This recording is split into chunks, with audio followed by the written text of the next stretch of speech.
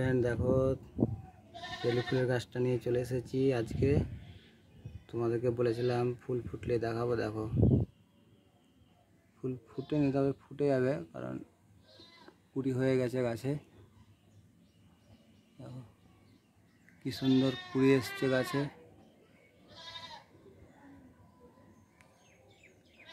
দু একদিনের মধ্যেই ফুল ফুটে যাবে।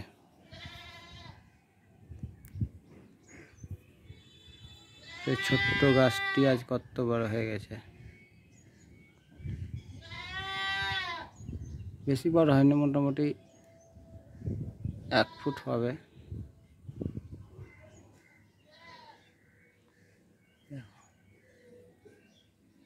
কেমন হয়েছে কমেন্ট করে জানাবে।